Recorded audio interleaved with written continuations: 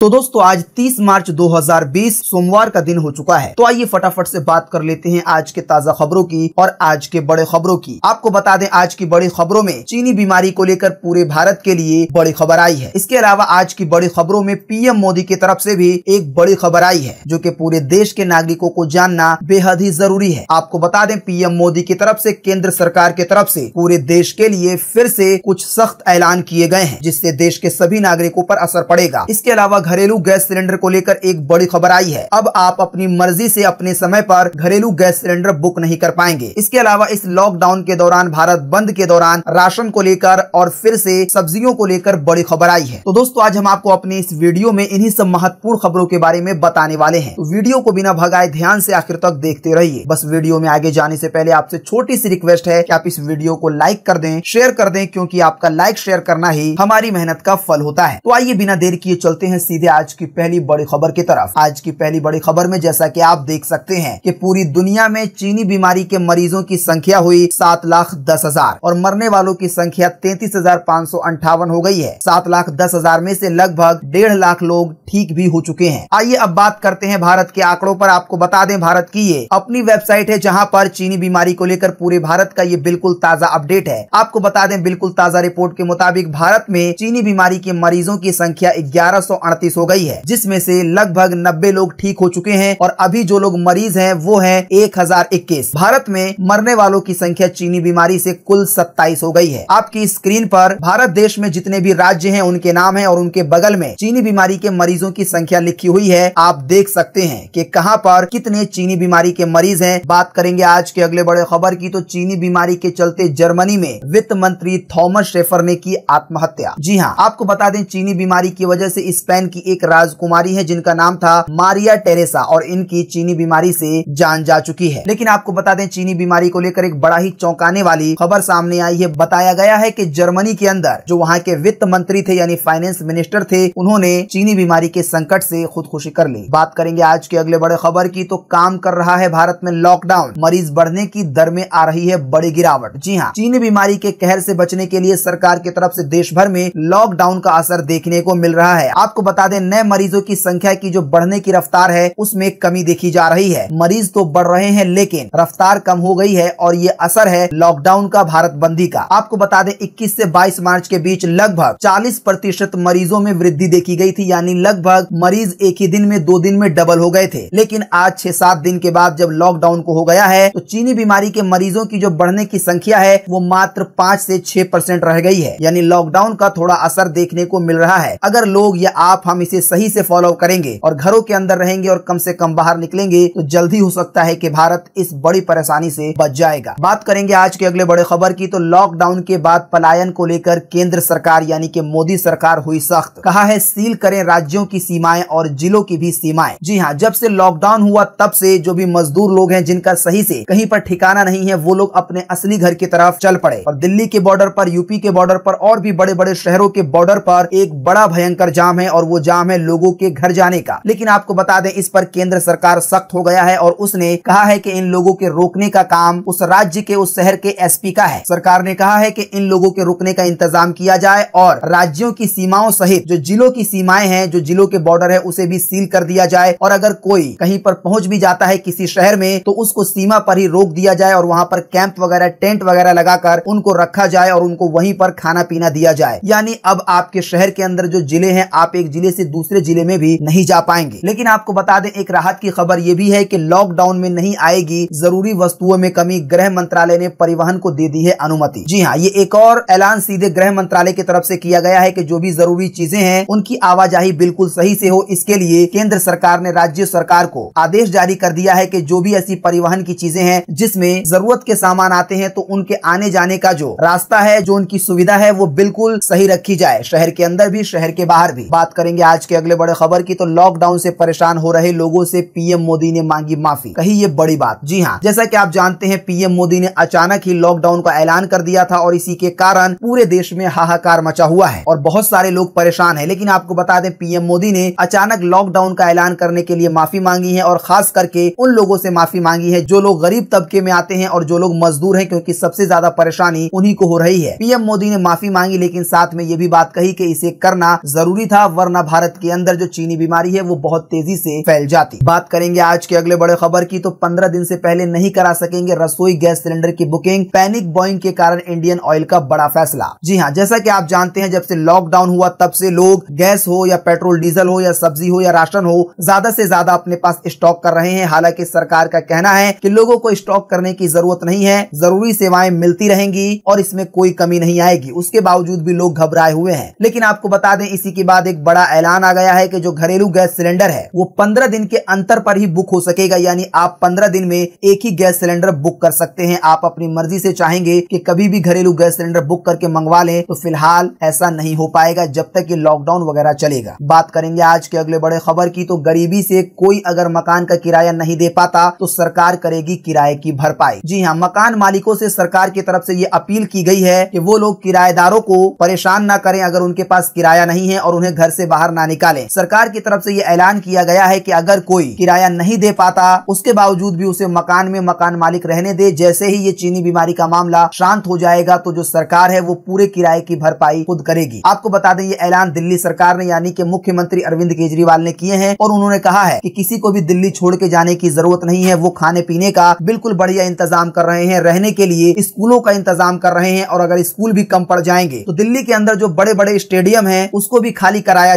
जाएगा ताकि वहाँ पर भी लोग रह सके। बात करेंगे आज के अगले बड़े खबर की तो सरकार सप्ताह में सातों दिन बांटेगी राशन, पचास फ़ीसदी यानी के डबल मिलेगा राशन, वो भी मुफ़्त में। जी हाँ जैसा कि आप जानते हैं, अभी आप कुछ दिन से सुन रहे होंगे कि सरकार की तरफ़ से मुफ़्त में राशन दिया जाएगा और बहुत सारी सुविधाएँ दी जाएँगी। तो आपको बता दें, इसकी शुरुआत दिल्ली के अंदर हो चुकी है। दिल्ली में दो गुना राशन मिल रहा है दिल्ली के वासियों को, जिन भी लोगों के पास राशन कार्ड है। और ये दो गुना राशन बिल्कुल फ्री में दिया जा रहा है। आपको बता दें, जल्द ही केंद्र सरकार की तरफ़ से मात्र दो रुपए प्रति किलो गेहूँ और तीन रूपए प्रति किलो चावल भी दिया जाएगा। बात करेंगे आज के अगले बड़े खबर की तो चीनी बीमारी से डरे नहीं, बल्कि लड़े। आइए बताएँ चीनी बीमारी के बारे में ये बिल्कुल खास और ताज़ा अपडेट। जी हाँ चीनी बीमारी को लेकर ये एक ऐसा अपडेट है जो की देश के सभी नागरिकों को बिल्कुल ज़रूर पता होना चाहिए। आपको बता दें, इस ताज़ा रिपोर्ट में हम जो बातें आपको बताने जा रहे हैं, उसे आप ध्यान से सुन लें। दोस्तों, अभी कई लोगों को शक है कि कहीं उनको भी तो चीनी बीमारी नहीं है। तो आपको बता दें, ताज़ा रिपोर्ट के मुताबिक ये बताया गया है कि आपको घबराने की ज़रूरत नहीं है। अगर आपने किसी विदेश की यात्रा नहीं की है और आप कहीं किसी ऐसे व्यक्ति से नहीं मिले हैं जो कि विदेशी हो या जो चीनी बीमारी से संक्रमित हो तो आपको घबराने की ज़रूरत नहीं है। अगर आपकी तबियत भी खराब होती है तो आपको नॉर्मली क्लिनिक या अस्पताल जाने की ज़रूरत है। दोस्तों, इसके अलावा आपको बता दें, जो पोस्ट, जो आर्टिकल अभी आपकी स्क्रीन पर दिखाई दे रही है, इसमें बहुत सारी बड़ी बड़ी जानकारी है और बहुत सारे हेल्पलाइन नंबर है हॉस्पिटल के हिसाब से, राज्य के हिसाब से, जो कि आप अपने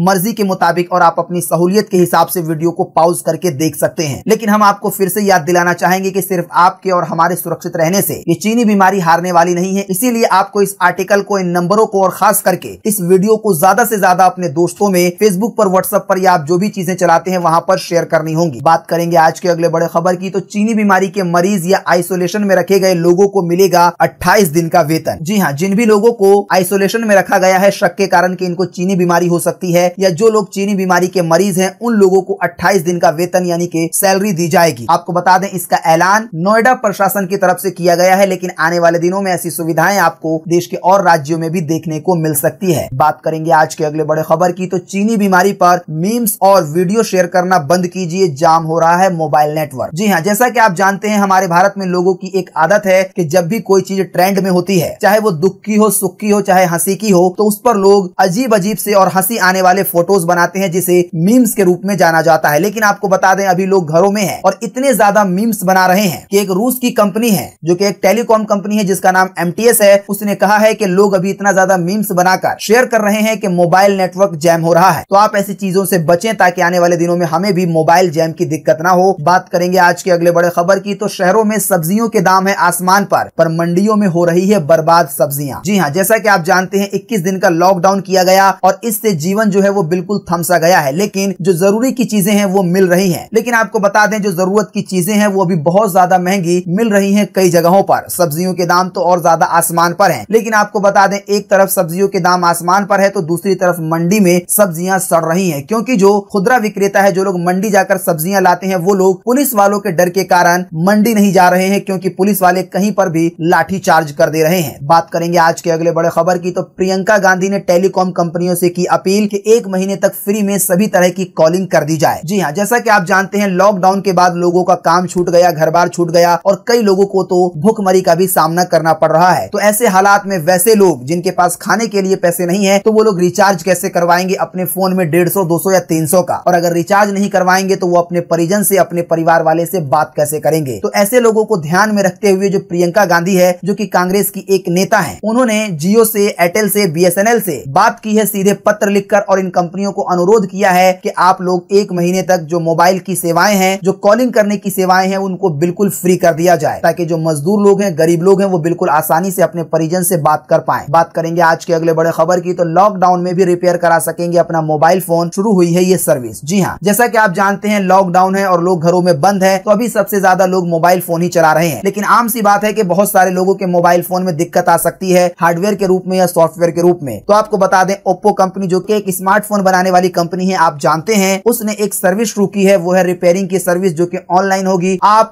रिपेयरिंग की मदद वहाँ से ले सकते हैं। और अगर आपके फ़ोन में कोई दिक्कत आ जाती है सॉफ्टवेयर से संबंधित या किसी और चीज़ से संबंधित तो आपकी मदद की जाएगी। अधिक जानकारी के लिए आप ओप्पो की वेबसाइट पे जा सकते हैं। आपको बता दें ओप्पो कंपनी ने भी भारत को एक करोड़ रूपए दान किए हैं चीनी बीमारी से लड़ने के लिए। बात करेंगे आज के अगले बड़े खबर की डब्ल्यूएचओ की, यानी कि विश्व स्वास्थ्य संगठन की खास पहल। अब ये ऐप आपको देगा चीनी बीमारी से जुड़ी सभी जानकारी। जी हाँ पूरी दुनिया में एक सबसे बड़ी स्वास्थ्य की संगठन है जो कि पूरी दुनिया के स्वास्थ्य की बीमारियों की देखरेख करती है, जो कि जानी जाती है WHO के नाम से, यानी कि विश्व स्वास्थ्य संगठन के नाम से। आपको बता दें, इसी संगठन की तरफ़ से आज सोमवार को एक ऐप आने वाला है जो कि चीनी बीमारी से रिलेटेड होगा। अगर आपके फ़ोन में ये ऐप होगा तो आपको चीनी बीमारी से जुड़ी हर तरह की जानकारी लगभग मिल पाएगी और बहुत सारे आपको टिप्स वगैरह मिलेंगे ताकि आप इससे सुरक्षित रहें। हो सकेगा तो हम आपको इसी वीडियो के नीचे डिस्क्रिप्शन में लिंक देंगे, जिस पर आप क्लिक करके इस ऐप के बारे में जान पाएँगे और इसको डाउनलोड भी कर पाएँगे। बात करेंगे आज के अगले बड़े खबर की तो रामायण और महाभारत के बाद शक्तिमान के दर्शकों को भी मिल सकता है। खास तोहफा। जी हाँ जैसा की आप जानते हैं लॉकडाउन अभी हो चुका है और इसी के कारण लोग घरों में हैं तो आपको बता दें, जब लोग घरों में थे तो उन्होंने सोशल मीडिया पर सरकार से अपील की कि डीडी वन पर, यानी कि नेशनल चैनल पर, रामायण का प्रसारण दोबारा किया जाए और महाभारत का भी। तो सरकार ने बात मानते हुए जो रामायण का टेलीकास्ट है, वो नेशनल पर कर दिया है, लेकिन अब लोग एक बहुत ही मशहूर सीरियल शक्तिमान की भी मांग कर रहे हैं तो आने वाले दिनों में शक्तिमान है, वो दोबारा नेशनल पर शुरू हो सकता है। बात करेंगे आज के अगले बड़े खबर की। एक अप्रैल से बदल जाएगा आपके बैंक का नाम। आइए बताएँ, अब आप ऑटोमेटिक बन जाएँगे किस बैंक के कस्टमर जी हाँ एक अप्रैल से बहुत सारे बैंकों को आपस में मिलाया जाने वाला है और इस मिलाए जाने के बाद बहुत सारे बैंक ग्राहक ऑटोमेटिक दूसरे बैंक के ग्राहक बन जाएँगे। ताज़ा रिपोर्ट के मुताबिक एक अप्रैल 2020 से इलाहाबाद बैंक के ग्राहक ऑटोमेटिक इंडियन बैंक के ग्राहक माने जाएँगे। इसके अलावा